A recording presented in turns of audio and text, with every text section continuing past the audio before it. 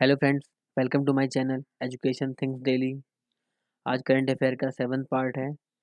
शुरू करने से पहले जो लोग हमारे चैनल पर नए हैं, वो लोग चैनल को सब्सक्राइब कर लें और इस बेल आइकन को भी दबा दें, जिससे आपको सारे नोटिफिकेशन सबसे पहले मिल जाए। और आप मेरे प्लेलिस्ट पर जा सकते हैं, जहाँ पर आपको डिफरेंट टॉपिक्स पर अलग अलग वीडियो मिल जाएँगे। चलिए शुरू करते हैं क्वेश्चन से। किस राज्य सरकार ने वर्ष 2020 को सुशासन संकल्प वर्ष के रूप में मनाने का निर्णय लिया? ऑप्शन है पंजाब, गुजरात, हरियाणा या फिर नई दिल्ली। देखिए, वर्ष 2020 में सुशासन संकल्प वर्ष के रूप में मनाने का निर्णय लिया है हरियाणा ने। ठीक है, इसका सही आंसर है हरियाणा। देखिए राज्य स्तरीय सुशासन दिवस समारोह में प्रदेश के सीएम मनोहर लाल ने राज्य के कर्मियों को प्रोत्साहित करने, नागरिकों को डिजिटल सुविधा देने व वर्ष 2020 को सुशासन संकल्प वर्ष के रूप में मनाने की घोषणा की है, ताकि कर्मी सुधार की आवश्यकता के अनुसार अपने सुझाव दे सकें तथा इन सुझावों को प्राप्त करने के लिए जल्द ही वेबसाइट भी शुरू की जाएगी। चलिए, अगला क्वेश्चन है। संयुक्त राष्ट्र द्वारा हाल ही में किसे इस दशक में विश्व की सबसे प्रसिद्ध किशोरी बताया गया है? ऑप्शन है Malala Yousafzai Marley Diaz, Cristina Martin या ग्रेटा थनबर्ग देखिए, हाल ही में संयुक्त राष्ट्र द्वारा इस दशक की, इस दशक में विश्व की सबसे प्रसिद्ध किशोरी बताया गया है मलाला यूसुफजई को।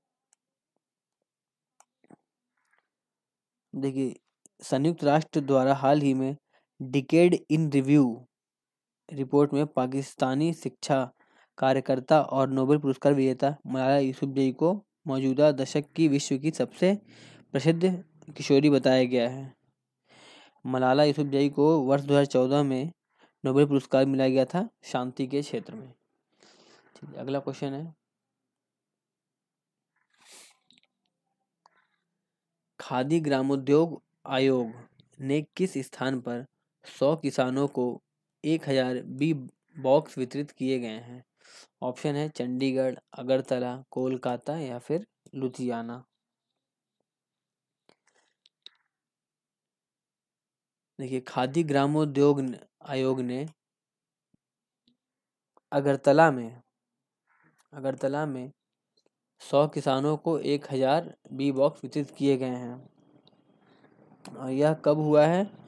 यह हुआ है महात्मा गांधी की 150वीं जयंती के अवसर पर खादी ग्रामोद्योग आयोग ने अगरतला में गरीब तबकों को सहायता प्रदान करने के उद्देश्य से सौ किसानों को सौ बी बॉक्स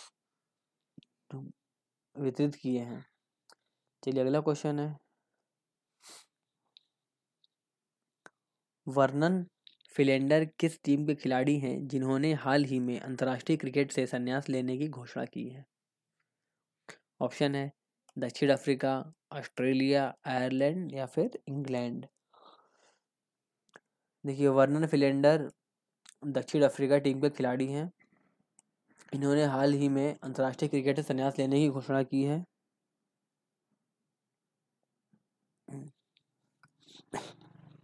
वर्नर फिल्डर ने अपने टेस्ट करियर में साठ मैच में, साठ मैच में कुल दो सौ सोलह विकेट लिए हैं।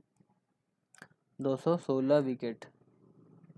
दो सौ सोलह विकेट लिए हैं और वनडे में इन्होंने तीस मैच और फोर्टी वन विकेट लिए हैं। चलिए, अगला क्वेश्चन है। हनुक्का फेस्टिवल किस देश में मनाया जाने वाला रोशनी का त्यौहार है? ऑप्शन है फ्रांस, अमेरिका, सऊदी अरब या फिर इसराइल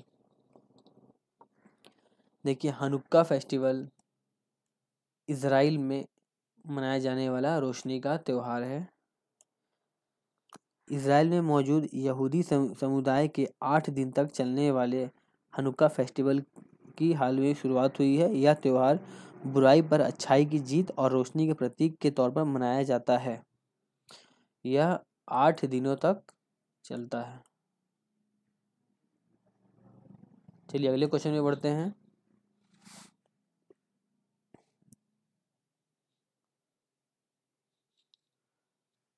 निम्नलिखित में से किस स्थान पर भारत की पहली ट्रांसजेंडर ट्रांसजेंडर यूनिवर्सिटी स्थापित की जा रही है? ऑप्शन है कुशीनगर, उत्तर प्रदेश, पटियाला, पंजाब, सिरसा, हरियाणा या फिर ग्वालियर, मध्य प्रदेश। ट्रांसजेंडर यूनिवर्सिटी स्थापित की जा रही है और यह देश की पहली यूनिवर्सिटी होगी जो ट्रांसजेंडर ट्रांसजेंडर यूनिवर्सिटी होगी और यह कुशीनगर, उत्तर प्रदेश में स्थापित की जा रही है। यह अपनी तरह की पहली यूनिवर्सिटी होगी जहाँ थर्ड जेंडर के लोग शिक्षा ग्रहण कर सकेंगे। चलिए, अगला क्वेश्चन है। हाल ही में किस मोबाइल सेवा प्रदाता ने भारत में वाईफाई कॉलिंग की सुविधा प्रारंभ की है? वाईफाई कॉलिंग की सुविधा। ऑप्शन है B S N L Airtel Idea या फिर जियो देखिए एयरटेल ने एयरटेल ने भारत में वाईफाई कॉलिंग की सुविधा प्रदान की है। यह सुविधा इस दिशा में क्रांतिकारी कदम माना जा रहा है और इस सुविधा का लाभ उठाने के लिए किसी कैरियर नेटवर्क की आवश्यकता नहीं होगी, अर्थात इसके लिए टॉक टाइम या फिर बैलेंस की आवश्यकता नहीं होगी। इसके माध्यम से बिना इंटरनेट कनेक्शन के ही व्यक्ति कॉल प्राप्त कर सकेगा तथा उसे किसी अन्य ऐप की आवश्यकता नहीं होगी। वाईफाई कॉलिंग की सुविधा एयरटेल ने प्रारंभ की है। नेक्स्ट क्वेश्चन है। हाल ही में किस राज्य में दक्षिण भारत का सबसे पुराना शिलालेख पाया गया है?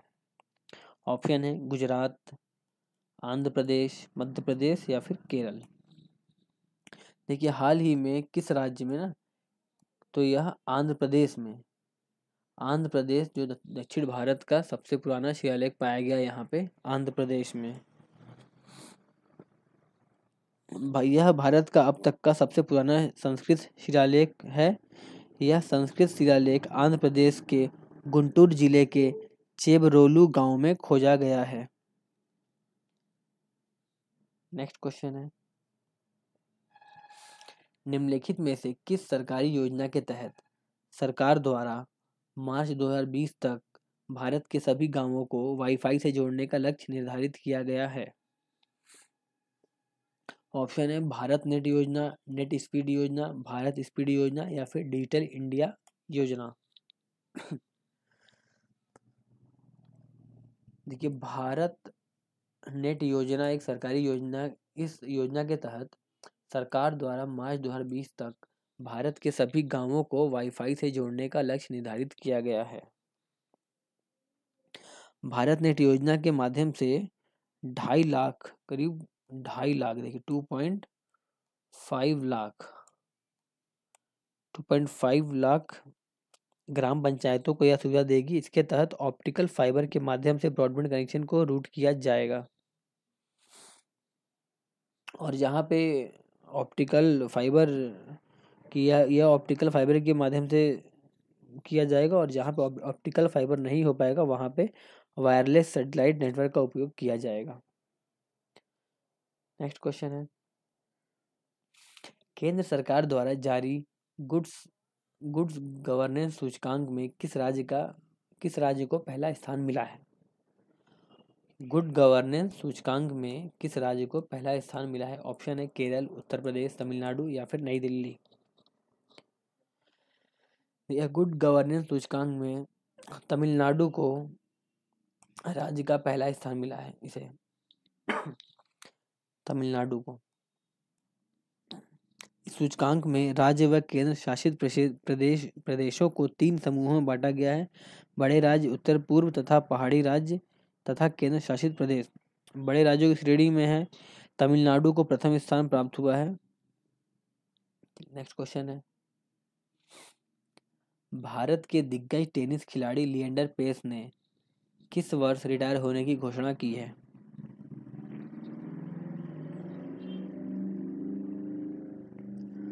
ऑप्शन है 2020, 2022, 2019 या फिर 2021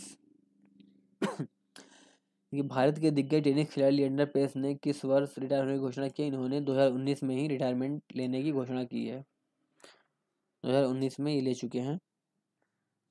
यह छियालीस वर्षीय यह छियालीस वर्ष के हो गए हैं। तथा इन्होंने अपने करियर में बहुत सी उपलब्धियाँ हासिल की हैं। उन्होंने एकल के साथ साथ युगल स्पर्धा में भी कई ग्रैंड स्लैम जीता है। और इन्होंने बताया है कि 2020 2020 उनके करियर का आखिरी साल होगा। माफ़ कीजिएगा इसका सही आंसर है 2020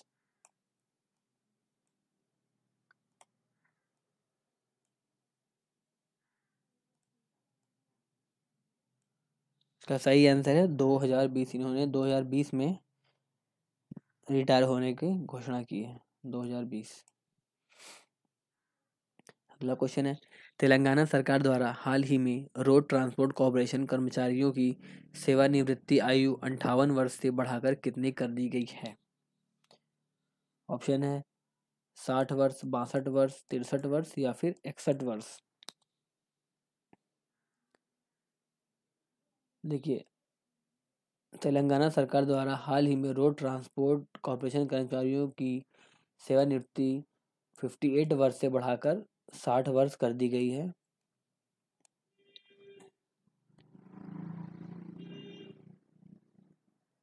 अगला क्वेश्चन है। केंद्र सरकार द्वारा हाल ही में रोहतांग सुरंग का नाम बदलकर क्या रखा गया है? रोहतांग सुरंग का नाम। ऑप्शन है हिंदू सुरंग, हिम सुरंग, अटल सुरंग या फिर पटेल सुरंग। इसका नाम रखा गया है अटल सुरंग। यह अटल बिहारी वाजपेयी जी के नाम पर रखा गया है। यह उनकी पंचानवी जयंती के अवसर पर उनके सम्मान में यह घोषणा की गई है कि रोहतांग दर्रे के नीचे बनी लेह और मनाली को जोड़ने वाली सामरिक सुरंग का नाम अब अटल सुरंग होगा। सुरंग से लाहौल और स्पीति घाटी के सुदूर के क्षेत्रों में संपर्क सुगम हो जाएगा और इससे मनाली एवं लेह की दूरी छियालीस किलोमीटर कम हो जाएगी। रोहतांग सुरंग का नाम बदलकर अब अटल सुरंग रख दिया गया है। अगला क्वेश्चन है। मनु भाकर ने हाल ही में राष्ट्रीय निशानेबाजी चैंपियनशिप में महिला 10 मीटर एयर पिस्टल के सीनियर और जूनियर वर्ग में कौन सा पदक जीते? ऑप्शन है स्वर्ण पदक, कांस्य पदक, रजत पदक या फिर इनमें से कोई नहीं। देखिए, मनु भाकर ने हाल ही में राष्ट्रीय निशानेबाजी चैंपियनशिप में महिला टेन मीटर एयर पिस्टल के सीनियर और जूनियर वर्ग में स्वर्ण पदक इन्होंने जीता है अभी। ये जीती हैं स्वर्ण पदक। इन्होंने सीनियर वर्ग के फाइनल में two forty one, two forty one point five अंकों के साथ यह खिताब जीता है। चलिए, अगला क्वेश्चन है। भारतवर्ष में, प्रतिवर्ष सुशासन दिवस किस दिन मनाया जाता है? ऑप्शन है पंद्रह दिसंबर, दस दिसंबर, पच्चीस दिसंबर या फिर छब्बीस दिसंबर। ठीक है सुशासन दिवस 25 दिसंबर को मनाया जाता है। यह दिवस भारत के पूर्व मुख्यमंत्री पूर्व प्रधानमंत्री अटल बिहारी वाजपेयी के जन्म दिवस के रूप में मनाया जाता है।